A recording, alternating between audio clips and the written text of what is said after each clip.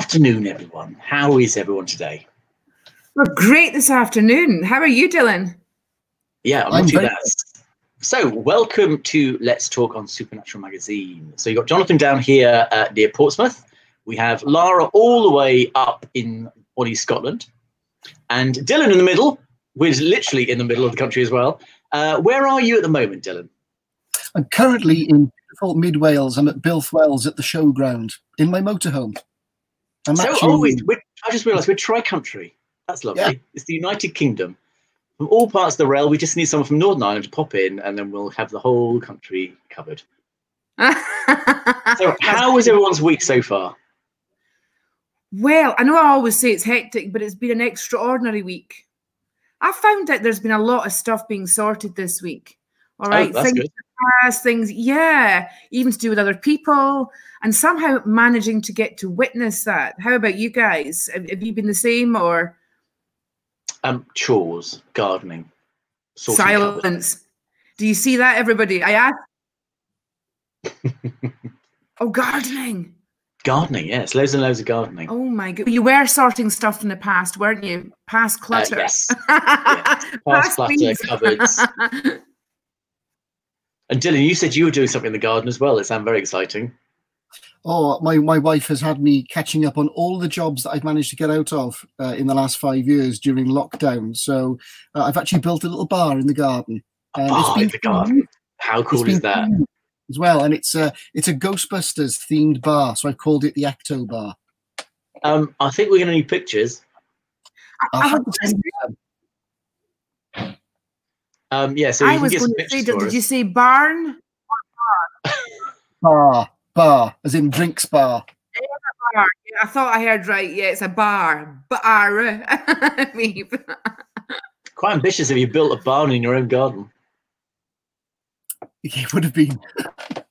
Right, so everyone, we this week we are talking about uh, haunted castles, and the whole Tri Nations uh, have a, a, fantastic combination of heritage in terms of enormous castles, anything from Norman up until probably the early Georgians is probably the last of the great castles being built, uh, but more as fortifications. So this week we are joined by Dylan, who is going to tell us all about castles. Now, Dylan has quite a background.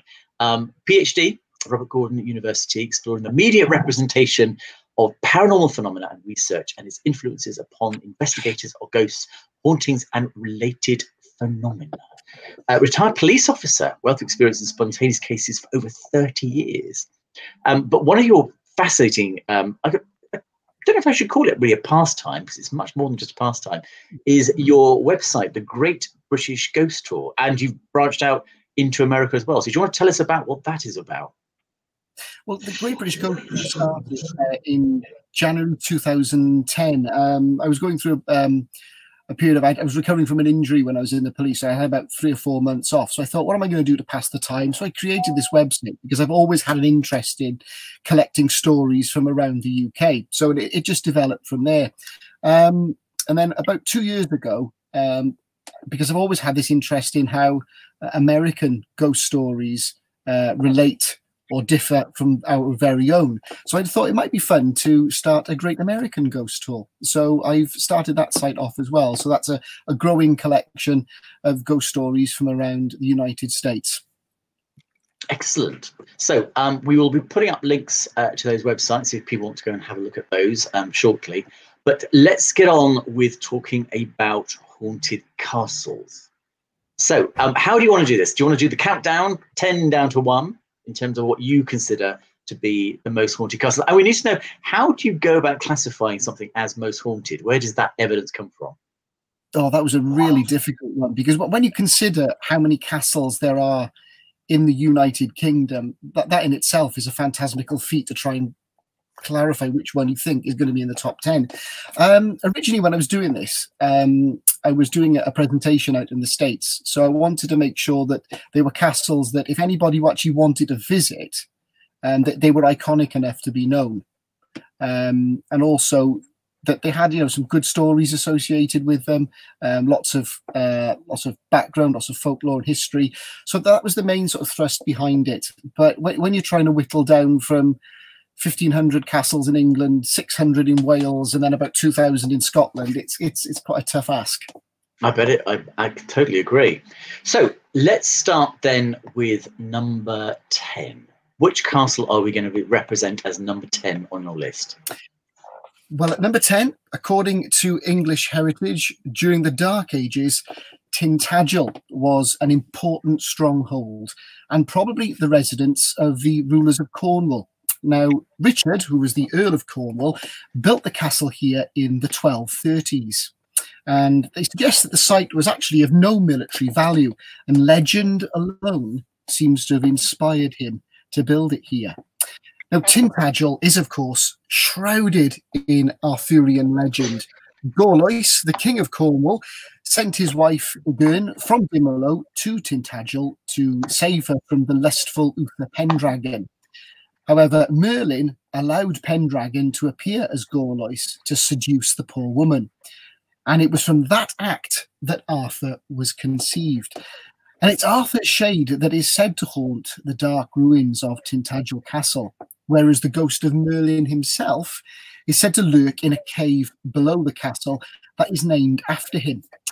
Now, of interest, once a year, the castle is said to disappear, only to reappear in its former glory uh, before returning to its ruinous state that you see today.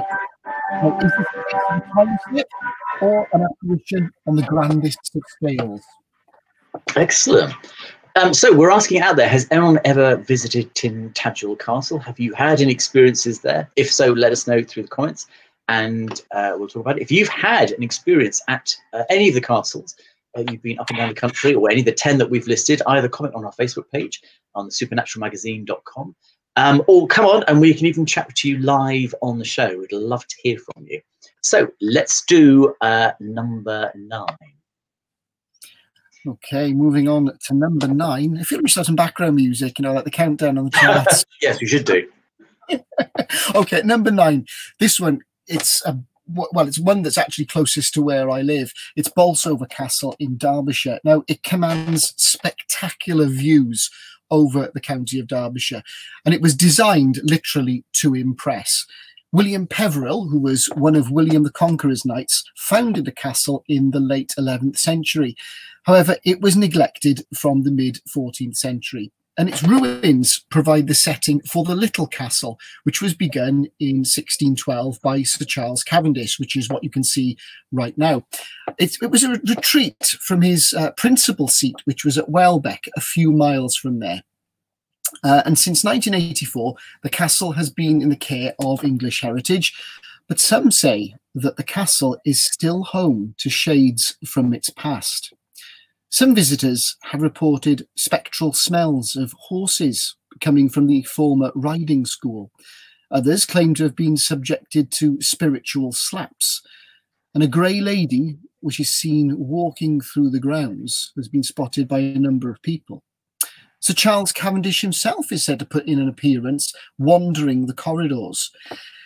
But its most well known story associated with the castle is actually also its most pitiful. And that's the apparition of a young woman, which has been reported in the kitchens of the castle. And she's been described as carrying a bundle under her arm and of being of a tearful disposition.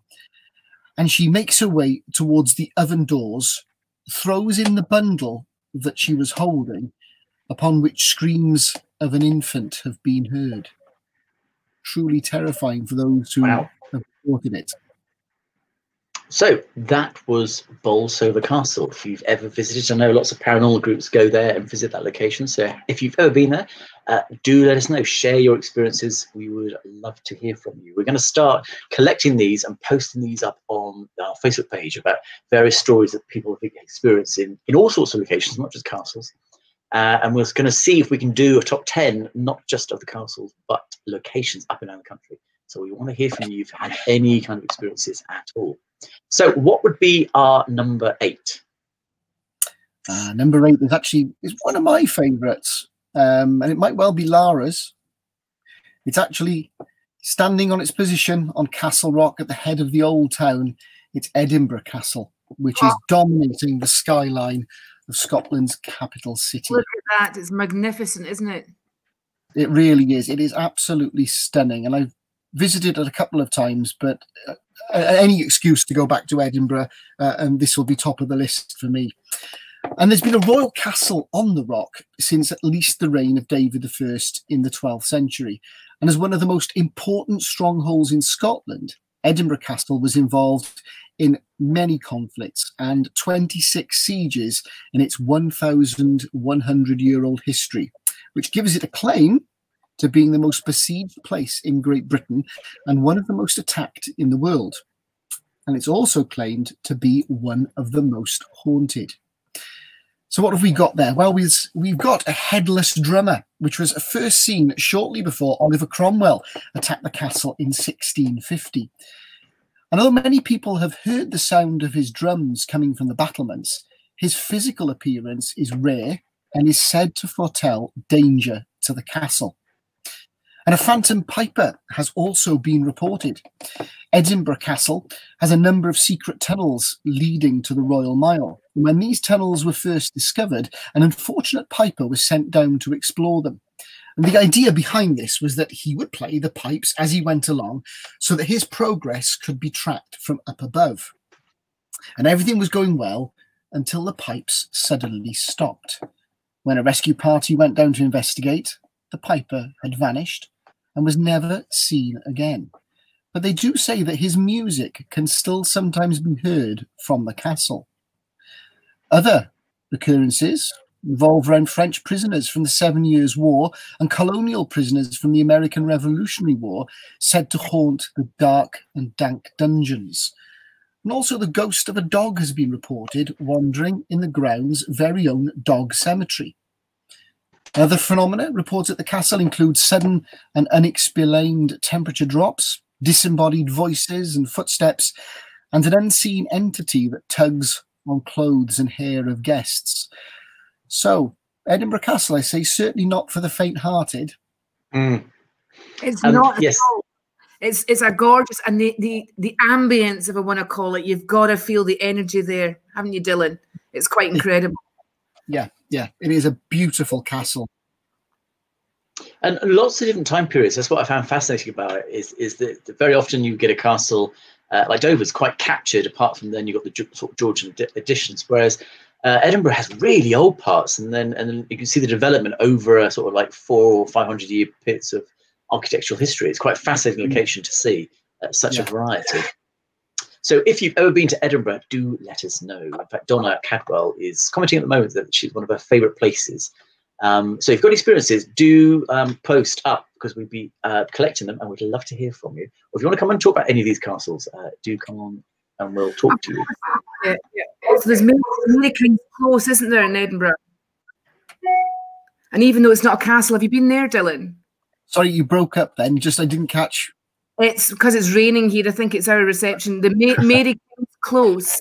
Have you been there? I have. Um, I was last in Edinburgh about two years ago, and I did do a tour of Mary King's Close, which is a fascinating place to visit.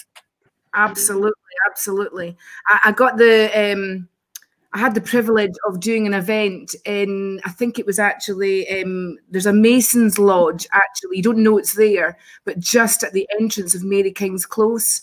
And I was working in there and there was some very strange activity, very strange indeed. Fabulous again fabulous ambience that you could only actually eh, we can't do justice explaining it you need to go for yourself Yeah, you could you could cheerfully spend about three or four days just exploring some of these locations around the Royal Mile. They are they are outstanding.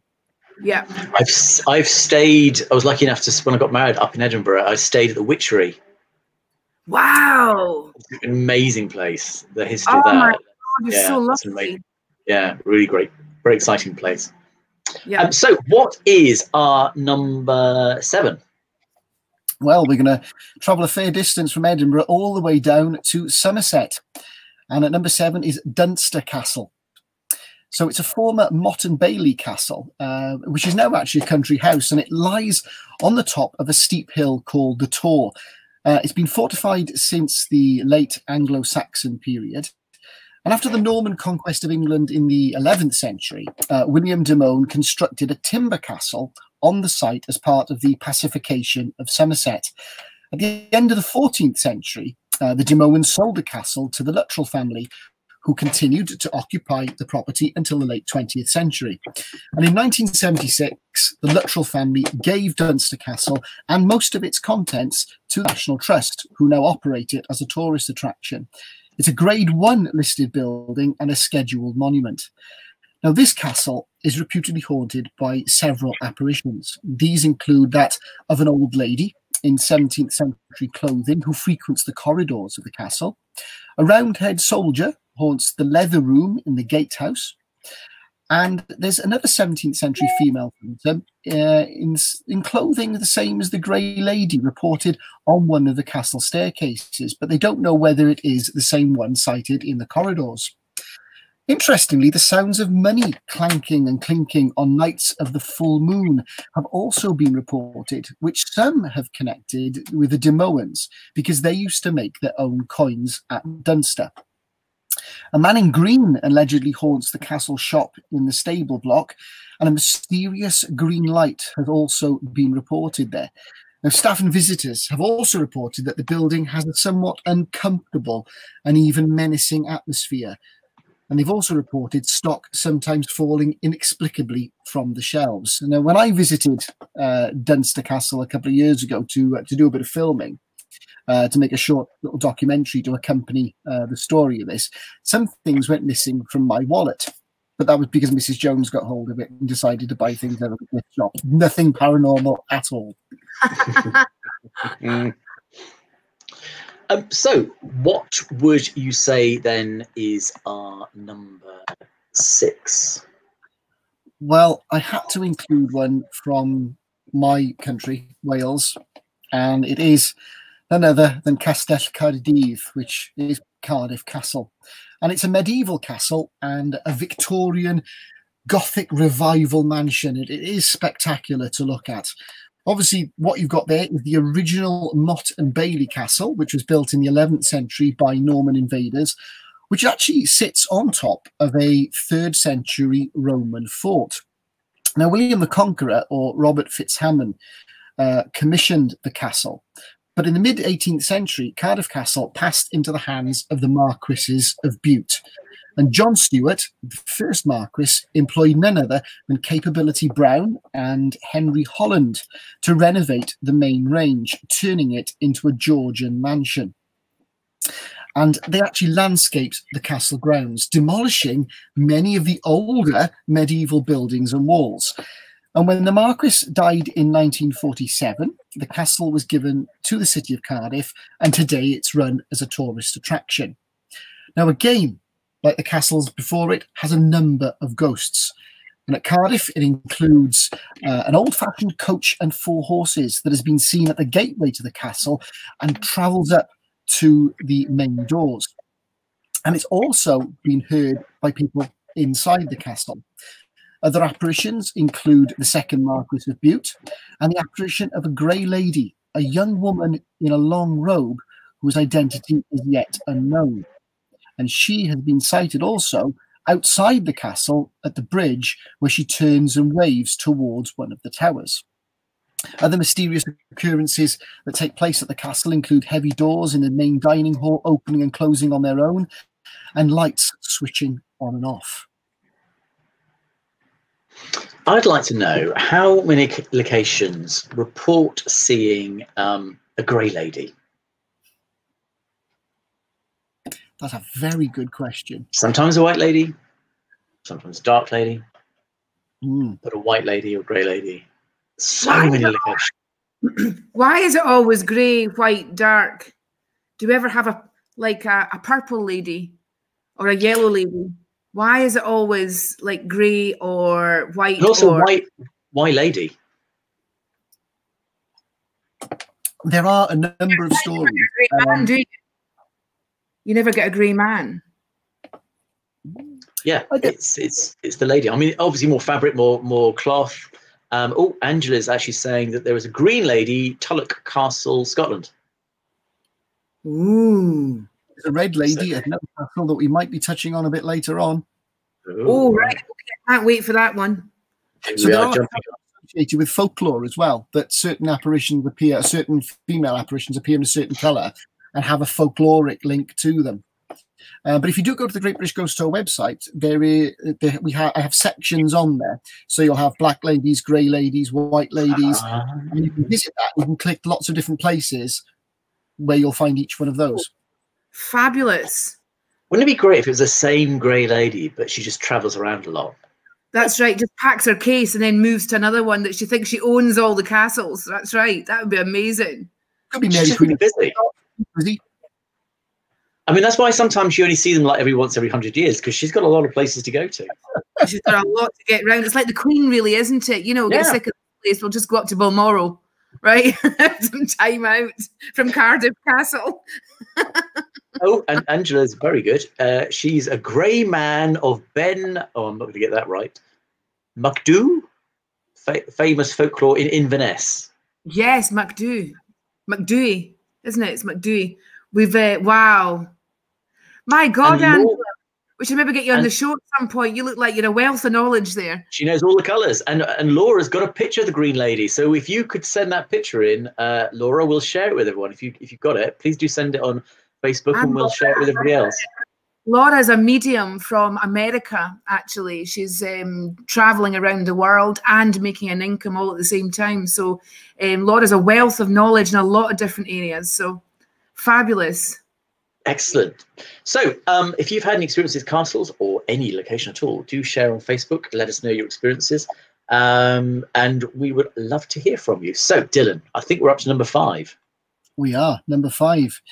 We're going to go to another spectacular part of England, and this time Cumbria, to visit Muncaster Castle. Now, for over 500 years, Muncaster Castle was said to be was the home of the Penningtons, and their fortunes were protected by something called the Luck of Muncaster. And this is a talisman in the form of a six-inch diameter clear green glass bowl, decorated with colours of gold, purple, and white. And, and there's a verse relating to that legend. But it's the ghosts that I'm more interested in, and there are apparently at least five of them reputedly haunting Muncaster. These include Henry VI, an apprentice carpenter, a jester, a vengeful ghost in white, and that of a lion. You don't find many ghost lions in Britain. So, first of all, Henry VI was sheltered at Muncaster following his defeat at the Battle of Hexham and is now said to frequent the castle. An apprentice carpenter was decapitated whilst sleeping in the old stable block, and a heinous crime was committed by a jester named Thomas Skelton, who was nicknamed Tom the Fool. Now, Tom received such orders from Sir Ferdinand Pennington because the carpenter was having a love affair with Pennington's daughter. Now, Skelton's an interesting character. He was a jester at Muncaster at the end of the 16th century, reputedly one of the last court jesters in English history. Apparently, a friend of William Shakespeare, he was a dark character responsible for a number of deaths during his time at Muncaster. He had quite a sick sense of humour, apparently, and this was highlighted when it alleged that if anyone asked him for directions to Ravenglass nearby, if he disliked the look of you, he would send you towards the hidden quicksand near the River Esk. And some of these people were obviously never seen again. Now, Tom died around 1600, according to legend, in the very marshes where he'd spent so many, uh, where he'd sent so many to their deaths when trying to return to the castle whilst he was drunk. Now, his portrait hangs in the castle, and it contains his will. Witnesses have reported hearing footsteps approaching where his portrait hangs, and his ghost has been reported as that uh, has that as of another one by the name of Mary Bragg. She was a foul mouthed local girl who was murdered by being hanged from the main gate by drunken youths in the 19th century. Apparently, they kidnapped her for a joke, but this joke went disastrously wrong. And those responsible were never brought to justice, which is the reason why she is said to haunt the area. And finally, the lion, quite an intriguing ghost, if ever there was one. Now, apparently, the lion was shot by the last Lord Muncaster in Kenya, and its skull is kept at the castle. And this lion has sometimes been heard prowling and growling around the castle as darkness falls. I'm not sure I'd want to be hanging around there at that time of the day. If that is the um, that oh, that sounds that sounds like somewhere I need to go and visit. I've not been that part of the country, and that definitely I think is now going to be on my list of places to go and visit. Um, so if you want any more information about what Dylan has been doing, I'll put a link on to uh, Great British Tour.co.uk. Um, have a look at the different categories.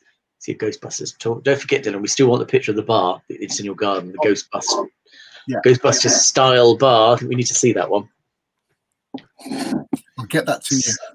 So, um, what would be your number five, uh, number four location in the top ten of haunted castles in Britain? Well, we're going to head back to Lara Wells country. Mm.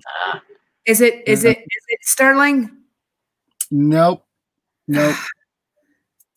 I'll put you out of your misery. It's Glamis Castle. Oh, okay then. Yeah. Wow, look um, at that. This is just striking to look at.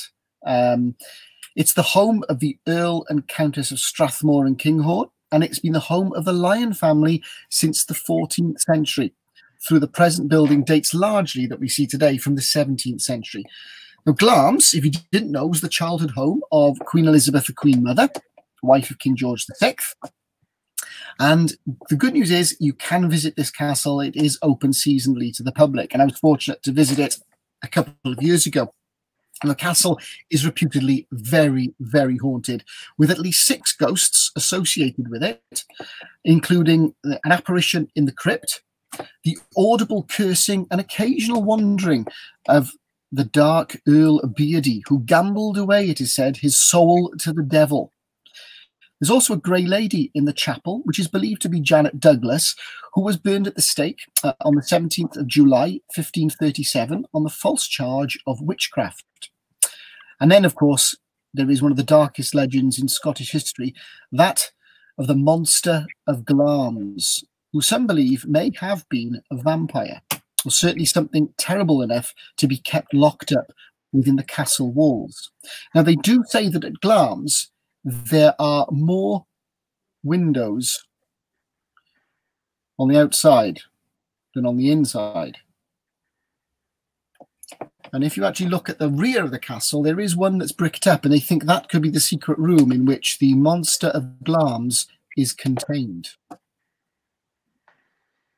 So, do we know um, how many extra um, uh, windows there may be? Has anyone ever counted? I mean, are we talking one, or is there like ten? And there's there's quite a few windows there. I I don't have those numbers to hand, but I think people have done it, and they apparently they used to go around hanging sheets out of all the windows to ascertain where where the one was. But if you do look at the rear of the castle, um, you can actually sort of make out roughly where it is. I mean, it sounds a little bit like a uh, Jonathan Creek episode when mm. uh, there was secret room and secret compartments. Uh, I love a mystery if I always it's, it's um always worth going to have a look just to do the to do the count. Um, mm. But I'm guessing you'd need a lot of access to a lot of rooms, which probably public wouldn't be allowed to do. Um, but no, that's like, I'd love to do that. It'd be a lot of fun. So, what would be our number four? Three. Sorry, three. I was miles what would be number three in the in the list? Well, three. We're going to um, one of royalty's homes it's none other than Windsor Castle. Ooh. Oh, now, this wow. came to being home to several phantoms, and the ghosts are said naturally to have royal connections. We're talking Elizabeth I, dressed in black, walking the library and the castle walls. There's Charles I, who appears in the canon's house. George III has been witnessed in a room where he spent the remainder of his life in debilitating madness. And then, of course, there's the apparition of King Henry VIII. He's allegedly been sighted in the corridors. And the sounds of his dragging leg and that of a lame man accompanied by groans have been heard in the cloisters. Now, these have been attributed to him as well, even though nothing has been seen. It's still nice to think that it could be Henry VIII wandering around. Now, a group of men were sighted in 1906 by an on duty sentry who shot and then charged at the group with his fixed bayonet, only for the group to vanish. So if ever you uh, decided to check out Windsor Castle, the chances are you could well see something because of the number of ghosts that are there. Mm. Um, again, it's, it's, it's, a location with so much history um, uh, that you can understand why, to begin with, it would be so active. But you do, I suppose, wonder why um, it's after you know a good hundred years of royal patronage. You consider a slightly more peaceful time that it maybe those ghosts have been sort of encouraged like back off royalty and presence unless they're vindictive, in which case they might go, "You're you're an um, an ancestor of someone um, and then maybe they just want to have a go at someone. Pat suggested, um, have we been to Fyvie, would you say, Castle? Or Fyvie, isn't it? Um, no, is, is Dunnottar just outside of Aberdeen? I think it might be actually, yeah. yeah. That's the one that's right on the coast, isn't it? Um, no, I haven't been to either. I do have a list, a long list of places that I really need to go and see. Um, and I, I do love Scotland so much. Um, and if I have a list of castles specifically in Scotland, I do want to go and visit. And Dunnottar is actually one of them on that list. Great. So we're getting to that crucial moment now for the last two castles. Um, what are you going to put as number two? Well, for me, number two, we've touched on it already. Uh, it's Dover Castle in Kent. Now, this is known as the key to England. It's a magnificent fortress at Dover, has played know, a crucial role in the defence of the realm for over nine centuries, a span equalled only by one other castle, uh, by the Tower of London and Windsor Castle. And it was founded in the 11th century now, Dover is a scheduled monument. It's a grade one listed building. It's under the care of English Heritage and is a major tourist attraction. Uh, and you can see why just from this picture alone. It is incredible to look at. It's reputedly one of the most haunted castles in Great Britain. And a number of apparitions are said to have been sighted here, including the famous headless drummer boy, who's said to have been murdered during the Napoleonic Wars now wanders the battlements. It was said that he was carrying money from one part of the castle to another, and he was set upon, robbed, and his body thrown from the castle walls. And we did mention different uh, apparitions of women of different colours grey ladies, black ladies, white ladies. This one has the woman in red, and she walks the keep that you can see right in the middle of that shot. There's a cavalier being sighted in the grounds, and interestingly, World War II phantoms have been reported in the underground tunnels, which are another incredible part of this castle to visit. Now, audible phenomena in these tunnels include screams, cries, whispering voices. And interestingly, a few years ago, apparently some American tourists um, commended the castle on the realistic uh, audio that was uh, heard in the uh, underground tunnels uh, which English Heritage then informed them that they don't have any in the tunnels at all. So, what did these tourists hear? Was it something paranormal? Could well have been.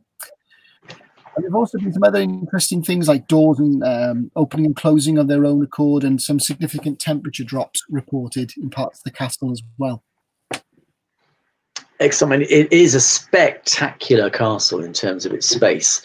Um, and if anyone's ever visited, um, you'll know it's it's, it's an enormous place, absolutely enormous. And again, you've got the variety of different locations within it. There's all sorts of different structures of buildings. There's, for me, it's a little, might get in trouble by arguing, but a little bit like Edinburgh in terms of it's been there for such a long time, but then developed several times by several generations and always been so important in terms of defense. So that's why it's been a lot of time and energy and money spent on these things. Because at the end of the day, most of these castles come down to money. And if the, the prevailing government don't prepare to spend money on them, then uh, they don't but then sometimes they think, well, you know, Henry VIII was a great builder. You've got to look at that and go, my God, the amount of work that's gone into designing something like that and building of that and the labor involved. And it's just absolutely breathtaking. Totally. yeah, the scale of the, the place is incredibly yeah. impressive. Um, and if you are going to visit, you know, I would say that a day it probably isn't enough to cover all the parts of it. It really does cover a huge area. Mm-hmm. Yeah.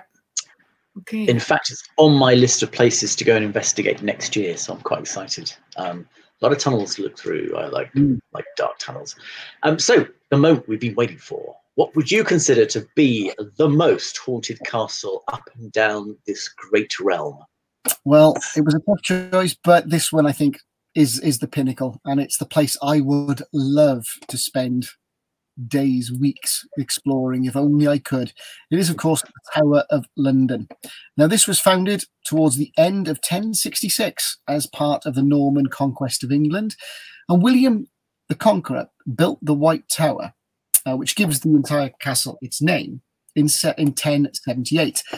The castle has been a grand palace and a royal residence and was used as a prison from 1100 until, get this, 1952 although that was not its primary purpose. As a whole, the tower is a complex of several buildings set within two concentric rings of defensive walls and a moat. And this has got lots and lots of history associated with it. And of course, as you'd expect, lots of ghosts. And if you believe um, there's a connection between acts of violence and hauntings, then this is of little surprise. Theories aside, the tower is haunted by the likes of Henry VI in the Wakefield Tower. There's a white lady in the White Tower. Two children dressed in nightgowns have been sighted in the Bloody Tower, and these are believed to be none other than lost princes in the tower connected to King Richard III. The wraiths of Anne Boleyn Lady Jane Grey, and Margaret Powell haunt Tower Green. Now, the ghost of Margaret Powell is, I think, one of the saddest. She was executed on Tower Green, and it's said that the axeman had to chase her around the Tower Green, taking swings at her neck before actually killing her. There's also the smell of cheap perfume around the entrance to St. John's Chapel, and there's quite a few other odd incidents have been reported by staff, beefeaters, and visitors to the castle, over the many years that it's been open. That why is gets my number one position. Wow. I mean, is this a location that you have visited? Obviously, during the day, as a as a as a as a yeah. member of the public. But have you ever got to see any of the uh, areas behind the scenes? I haven't, unfortunately. I mean, I visited the normal areas where you would expect. Um, however, my uncle, um, now but my, day job is I'm an operations manager for a security firm that specializes in television security for outside broadcasts. So we do tend to go to places where the public don't get access to, to look after TV, trucks, and equipment. And he has actually been locked in in his motorhome in the Tower of London.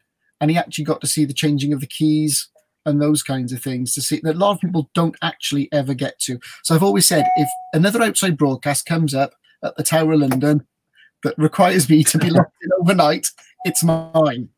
I'm going Excellent. to that. one. I think I would as well, um, because again, the history, the history is just dripping with heritage and the names associated, all these names that we learn through history and we see on TV and movies and films, and they experience these things, lived there, and of course died there in that in, in that amazing location. So it's one of those places where you just think it's, it's so laden with the importance of history that um, you can't help but feel you'd, you'd go there. But essentially, when I do ghost walks up and down uh, the country uh, telling stories, there's very often uh, scenes, uh, places of execution or um, fiercely dramatic moments of history have occurred, that whereas the location has now changed completely, um, and you don't even know it's there. So modern day uh, people walking over the area of, of an execution site or uh, cells that have been converted into modern shops you don't see any of it. Um, and there's something about the Taiwan because it's been there for so long. It's carved itself in history, and therefore you gravitate towards it uh, because of because of that heritage. And yet, probably everywhere we go up and down the country, there are town centres, significant bits of, of, of you know dreadful history that we, we associate with the Tower of London, but they've just been eradicated, so we don't see them anymore, or don't even know about them anymore. So, um, in terms of all the places we've been to, um, what would you say could possibly top the Tower of London? Have you been to a location where you've been quite astounded by the amount of potential activity that's been reported, or even better, whether you have experienced? That one castle for me, and it stems back to my childhood. That there are two castles near to where I grew up in South Wales. The first, I, I grew up in Newport. Um, there's Newport Castle, which you know it, there's not a lot left of it, but that was the first haunted castle that I actually knew about. And it sits on the banks of the River Usk in Newport. And it's particularly haunted by the ghost of Robert uh, Fitzhamon, who built the castle. Um, but it's the one just outside um, outside Newport at a place called Caldicot, um, which does have a sort of special place for me because when I was a teenager, I used to spend a lot of my time going up to that castle. I'd take my equipment that I I gathered meticulously, having based on Peter Underwood's list in the Ghost Hunter's Guide. And I would go up to the castle and spend as many days as I could during the school holidays just at the castle. And the castle were great. They, they would let me, you know, turn up there and sit and wait and watch during the day. And the one day I did actually have an experience there in one of the towers.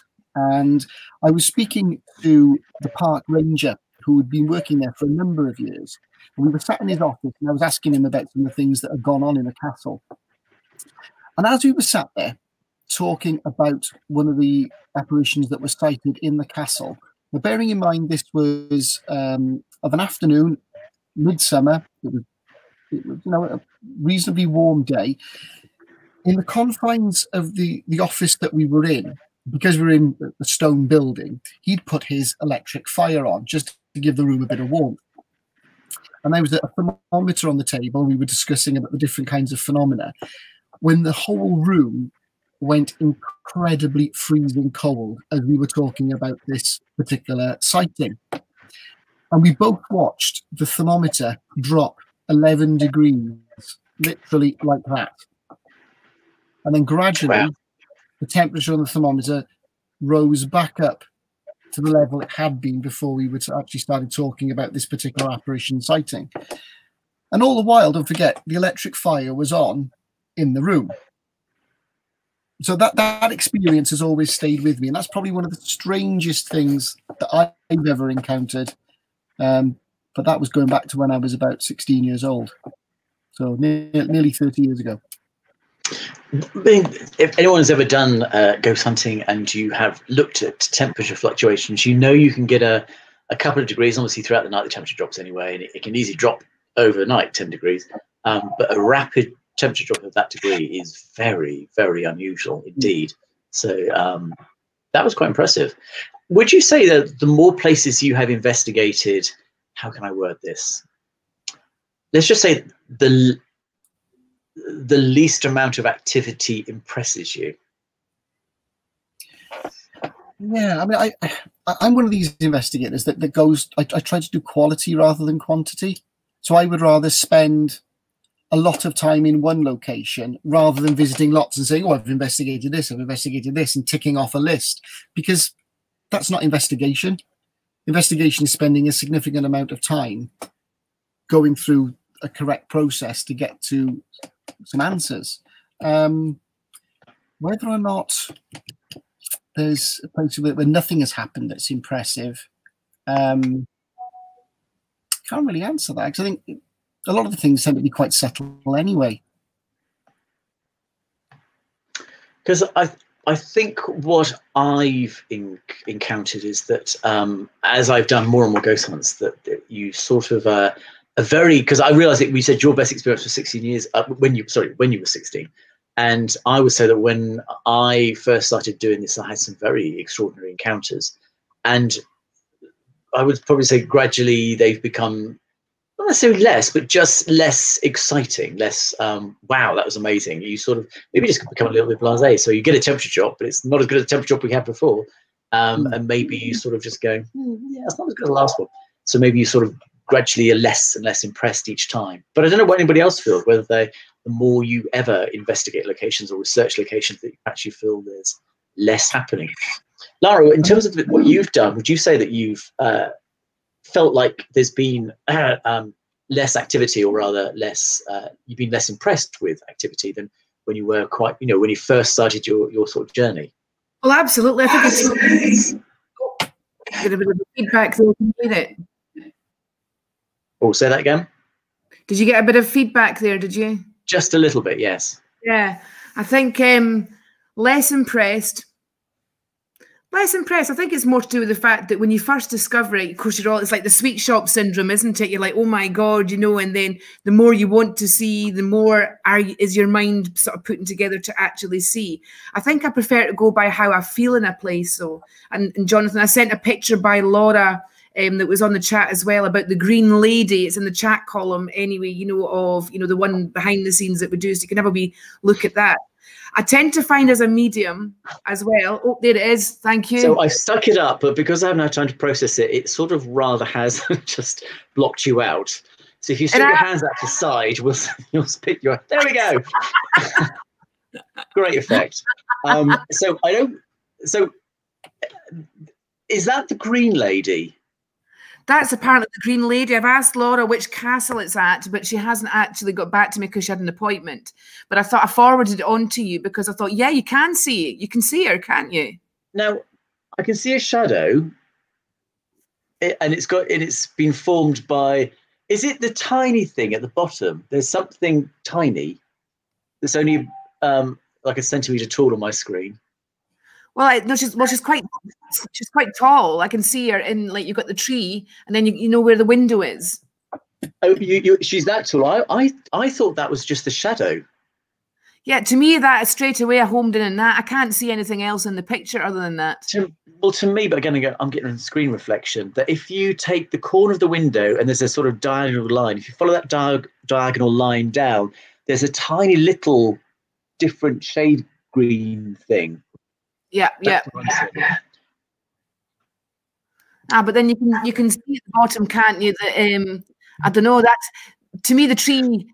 I wasn't even questioning how tall the tree was. I'm thinking. I'm taking a picture of because all of us are like going. Yeah, I know. We're right up at the.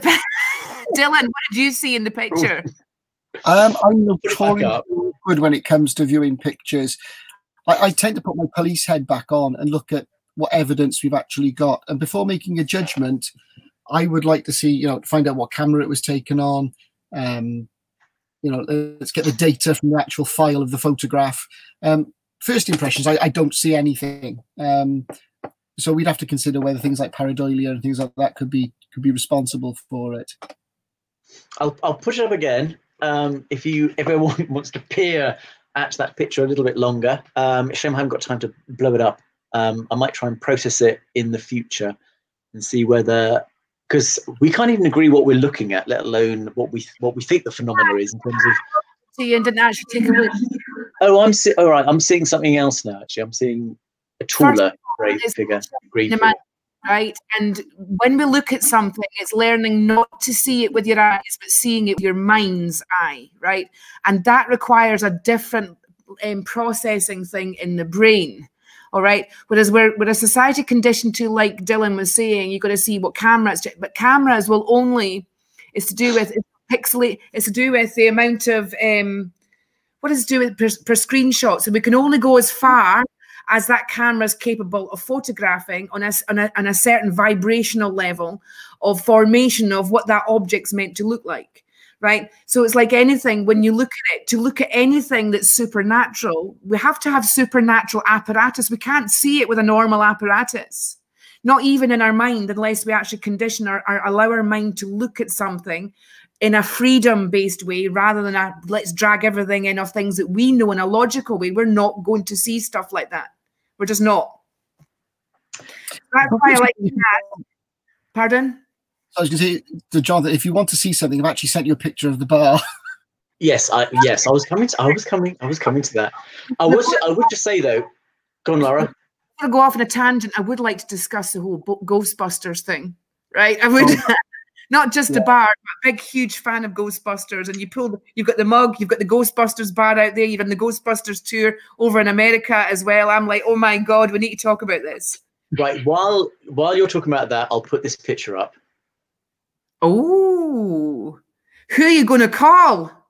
Dylan Jones. That's what you're going to do when it comes to the bar. That's incredible, Dylan. Thank you. I, I, that was a bit of a project during lockdown. I said to my wife, "Oh, should we should we you know, build a bar for the garden?" The grandkids absolutely love it. Obviously, they don't get the alcohol; they get the soft drinks. But you know, it was it was it was a bit of fun. It lights up as well. There's lots of lights in there and glows green at night. So it's yeah, I'm quite proud of it.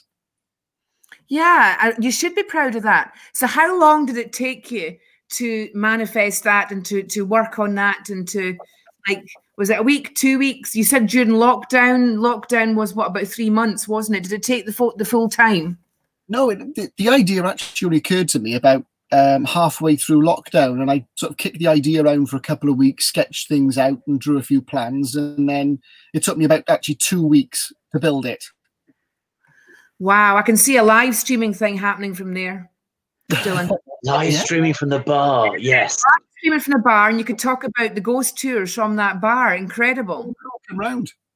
Once lockdown is fully over, no well, let's do, let's do. We can do a live stream first, and then and then from each other's bars, and then. So, Lara, have you got a bar? No, well, the bar here, right, is a classy thing, right? The bar's actually hidden, but I could go in the bar, I suppose, and, and do it from there. You'll see when you come up, Jonathan, there used to be one in the breakfast room, but the Danish guy that used to own it years ago, very flamboyant guy, ripped it out. I mean, it's a the bar service was table service, if you know what I mean. It was that high class. You didn't see a bar on the outside. It's always, you oh, know, right. a hidden room. Yeah. It's just that I've now got a bar downstairs. Um, um, so I think we could do from all our bars. Good. That, yeah, yeah, I would be country bar fest. I would look like I was in a cupboard, Jonathan. like Harry Potter, right? Ben will be will be laughing his head off if I suggested let's film from the bar. so tell us about the Ghostbusters side of things. Did you, you know, when you saw the films, Dylan, right? And because obviously this inspiration has gone with you through life hasn't it? If you're now creating the bar in your garden, right? This has been a huge influence on you. Would you say the Ghostbusters has influenced you also with um, doing the ghost tours? Um, the Ghostbusters thing, actually, I, what got me into the paranormal was an experience I had when I was about seven. Um, when I woke up uh, one night and thought I saw the apparition of my uncle who had died the year before um, standing in my room, but that could have been a hypnopompic experience where I just woken from a dream state the following uh, the year then, um, in 1980, late 1984 and 85, I went to see because I badgered my mum for weeks to say, take me to see this film called Ghostbusters, and that was it. I was hooked. I wanted to know as a result of that what other people's experiences were, and then it really rolled on from that. So my interest in the paranormal comes from a possible paranormal experience and a media experience, and that today has led me to um, the PhD that I've started looking at the media influences of the paranormal and people who research it, and that influence then upon people who then go ghost hunting and investigating the paranormal. So for me, Ghostbusters is a, is a couple of things. It's about the fun, it's about the comedy, it's a great film, but it also influenced me quite a lot to get into the, the subject in the first place. And I see a lot of Ghostbusters in a lot of the investigative groups today. You know, they've yeah. got the uniform, they, they wave their little gadgets around. It like it looks like they're doing science. Um, they respond to things quickly. It, has got those little elements to it, which there's little nods for me there. Um, but I'm really interested in finding out whether or not the media really does affect investigators in a whole other range of things as well. Well, just because I want to carry on with that for a couple of minutes, but um, Laura has said it's Tulloch Castle up north in Dingwall, very haunted. We stayed for three nights and got no sleep. Okay, so that's you know the picture of the Green Lady. It's Dingwall. Anyway, Tulloch Castle. Getting back to the Ghostbusters thing, right? So you could arguably say that Ghostbusters influenced a revolution. Really, it's a movement, isn't it? And you can see it present Jonathan does ghost busting, right? You go and do the ghost hunting. You've got to have, I can see the little smile, ironic smile, you know, with you because you can see the correlation with that. And it's the well, same. I'd like, I'd like yeah. to argue that I wasn't hapless and covered in slime. No, but there's always part of you that goes, maybe one day that will happen. right? And I tell you what, we've got the Ecto Bar now. Could we just say that? So if we pay Dylan a visit, there's every possibility that we could end up being covered in slime down there. but I think I think most Ghostbusters would like the idea of the the backpack and and the plasma beam. Um, I think, and then the trap. The idea you just roll out this trap and capture a ghost. I think would be very exciting. That's right, and then we could take it home and sit and look at it when we're having our tea. Woo! Yeah. no, seriously, the Ghostbusters thing. I've got to say, like you, I think I was 15 when the ghost, the original Ghostbusters film came out. Mm. And that was it. I was like the whole, you know, I was into seances at the time and started doing seances, and that film came out. And of course, the, you know, making the connection of both. And further down the line, you know, we've had Most Haunted and Say What You Like About It, you know, that that kind of, you know, TV coverage actually inspired a nation, didn't it? To get it made it more friendly, sociably friendly. I think it made it more um, as a kind of thing that we could study. I mean, today you said you're doing a PhD in, in is it parapsychology? What is it you're doing a PhD in?